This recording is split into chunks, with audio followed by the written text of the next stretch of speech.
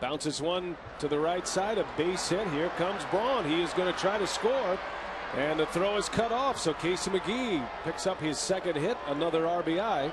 And the Brewers have an 11 to 3 lead. Yeah, another changeup. And you see Casey almost jump up again and get on top of that baseball. Rolls it into right field. Ryan Braun scores easily with two outs. Check it out. Hey, talk about trying to get on top of a pitch.